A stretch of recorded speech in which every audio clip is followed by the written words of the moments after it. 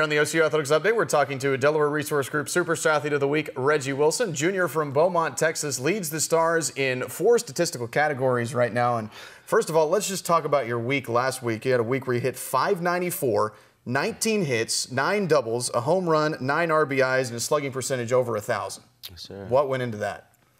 I don't know. I mean, it just happened. I mean, I just take every at bat as as it is, and I mean, I just go up there looking to get a hit and get on base. And lucky enough, I got 19. So I mean, I'm just trying to do something big for my team and get on base. You sat out last year while you recovered from an injury. Talk about uh, what happened last year. Uh, I mean, last year, I mean, it was a big freak accident. I right after spring break, I somehow got a blood clot, and um, I missed the rest of the season. But you can try to say things are a blessing. I mean, I ended up here in Oklahoma City, somewhere I never even thought of. Um, ended up in the hands of Keith Lytle and Denney Crabaugh, and I mean, it's helped me out a lot. How many tools do you think you have on the diamond? Obviously, you, are leading the team in four statistical categories right now. Talk about your game. Uh, I mean, a lot of people say I'm a five-tool player. I mean, I try to take everything as it is. I, I will say I'm a, I am a five-tool player. Um, the main thing I try to do is run well. I mean, I'm a small guy, so I have to have one big tool, and I think that's running. Talk about what it's been like working with uh, Keith Lytle. Oh man, um, I love Keith. Uh, he's one emotional guy, and so am I. I mean, I feed off emotions just like him, and uh, me and him, we butt heads, and that's what two two brains like that will do. Um, I, I love him. He takes every day as it is and looks to get better every day. What are the team's expectations this year? Uh, we want nothing else to be number one, uh, to go to Lewiston and win it all. Uh, I understand that you enjoy fishing when you're not uh, playing baseball. not not much time for that here recently, but uh, tell us about uh, maybe one of your most recent experiences fishing. I haven't fished in a while. I would say last time was maybe when I was 17, about in high school. Me and, in fact, me and my dad talked about it a few days ago when there was Parents Weekend here. Uh, he said that he had a conversation with some guy about fishing, but we were talking about going uh, at least that Sunday, but we didn't have time to go. I understand you also are uh, participating in some Boys and Girls Club activities. Talk yes. about what you're doing there. Uh, we go to the Boys and Girls Club with my English class and me and a lot of other baseball players on the team.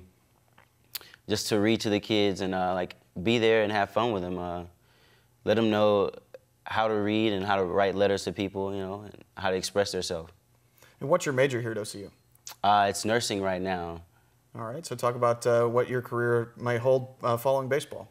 Uh, hopefully I do get drafted and go on to play MLB, play in the MLB. But um, if that doesn't happen, hopefully I can fall back and become a nurse and you know help people out. That's all just something I want to do.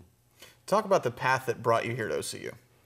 Oh, um, I mean it was rough, and I mean it, it still took patience about baseball. I mean, uh, my freshman year, uh, played with another guy on the team named Skylar Janice um, at San Jacinto in Houston. Uh, we went to a national championship, and uh, I had a lot of fun there. But I mean, my time was short, and I transferred to Howard Junior College, which is in Big Spring, Texas. Um, I became really close with uh, the coaches there, uh, Jay Carlson and Smitty. Um, they helped me out a lot, as in maturing as a person, uh, to the person I became now, now today um, it, it really took a lot for me to to learn to grow as a baseball player. Um, they all, everyone thought I was good, but they re they really helped me out, as in growing, as in learning how to use everything I have. But um, after that, they they talked to me about Keith Lytle, and once I talked to Keith when I came on my visit here, uh, me and Keith it was love at first sight. So I mean that's how I ended up here. All right, thanks very much. We're talking to Delaware Resource Group Superstar Athlete of the Week, Reggie Wilson. And coming up next on the OCU Athletics Update, we'll visit with track and cross country coach Conor Holt.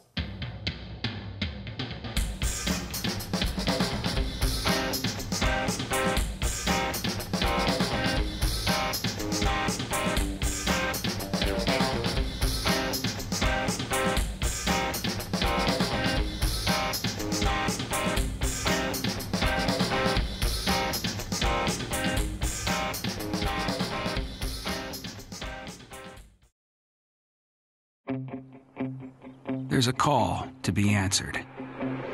the spirit of competition is still alive inside. The desire still drives. The phrase student athlete has a great ring to it. Lasting friendships are ready to be made. You just want to keep playing. Game on. Learn more at naia.org.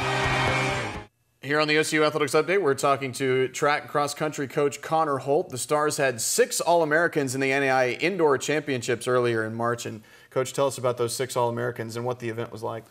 You know, um, we're an all year round sport. We run cross country in the fall, we have indoor track and outdoor track. And what I try and tend to focus on because it's such a grueling year and the fact that these kids are training year round is that I don't really like to focus as much on the indoor season.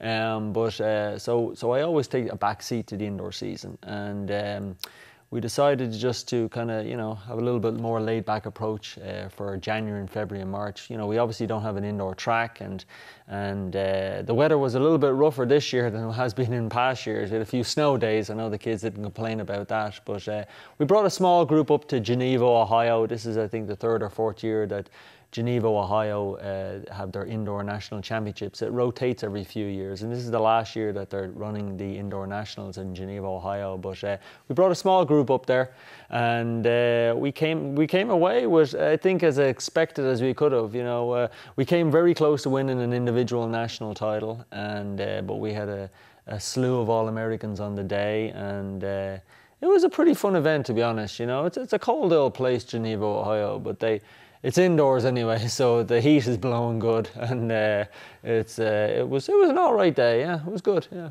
So Peter Kosgei and Ar- Arya Bahraini finished second and third in the 5,000 meters. Yeah. How do you think they ran in the finals? You know, it was it was uh, I, I had them picked to, for one of them to win it, to be honest, and it was an unusual turn of events. What happened was that uh, it's a 300 meter indoor track. So obviously, you know, you're coming around, you're running 300 meters each time, and there was a bit of a mess up with the lap counter. And at one point there was three laps to go, and then when they came around again, they rang the bell. So they missed the second two laps to go. So they ended up only running 4,700 meters. So the two boys were caught off guard a little bit, and it was just uh, an interesting turn of events. And uh, they, they ended up getting second and third in the end. There was a bit of mass confusion at the end there with people coming across the line and the, uh, the, the officials telling them, some of them, no, you got to run another lap, and other kids were standing with their hands up in the air. and it reminds you of like Christmas Day or Christmas Eve at one of these malls where people are trying to get Christmas gifts last minute and just mass confusion everywhere. Or, uh, you know, like Thanksgiving Day, uh, the, the, the shopping at Thanksgiving Day, you know, people just going crazy. So, but uh, Asher added a bit of excitement to the whole thing. But I, I, was, I, was, I was, I was, they both ran really well and it just came on the, unlucky on the, on the draw that they ended up finishing second and third. But uh, they, uh, they had a good run, so yeah.